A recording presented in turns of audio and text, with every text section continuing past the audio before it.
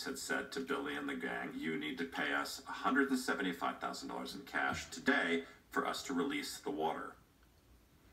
I went down. Well, Billy called me.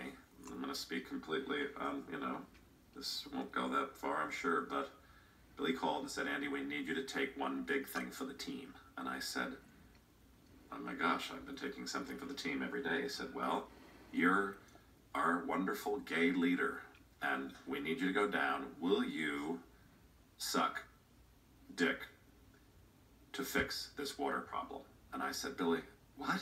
He said, Andy, if you will go down and suck Cunningham's dick, who's the head of uh, customs, and get him to clear all of the containers with water, you will save this festival. And I literally drove home, took a shower. I, I, I, I, drank some mouthwash. I'm like, oh my gosh, I'm really, and I got into my car to drive across the island to take one for the team. And I got to his office fully prepared to suck his dick. But he couldn't have been nicer. And he's like, Andy, listen, I will release all the water. I will let you serve it.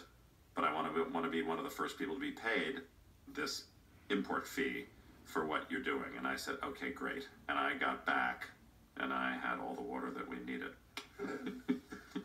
Can you imagine in my 30 years of a career that this is what I was going to do? I was going to do that, honestly, to save the festival.